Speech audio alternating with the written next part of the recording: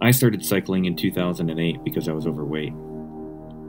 I took my first mountain bike ride in 2009 because Dean said I could do it. I raced my first Iceman in 2010 because Tim said it would be a riot. Both were absolutely right. Over the past nine years, I've ridden thousands of miles and competed in dozens of races. In the process, I've found human beings who care about their health, about each other, about natural habitats, about sharing their time and resources, and a belief that you can serve all of those purposes while having fun. We do it on mountain bikes.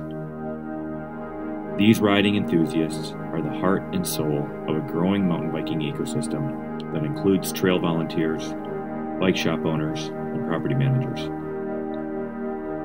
But if the riders are the heart and soul, the trails are the lifeblood.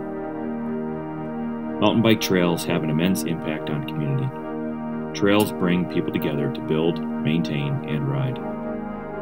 Trails provide economic benefit from thriving bike shops to healthier employees to talent recruitment to tourism dollars. Think beer, food, and lodging, but beer most importantly.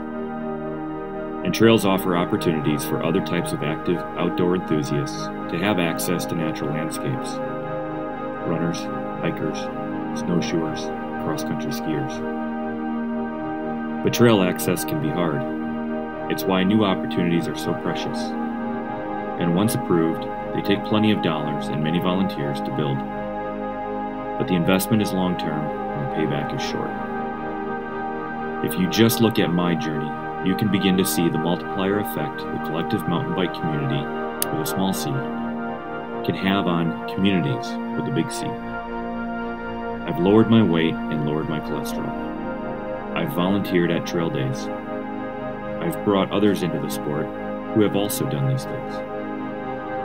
I serve on my local mountain bike association board, and be very assured that I advocate for the sport at every turn. I created a YouTube channel dedicated to the sport of mountain biking. It's kind of a big deal.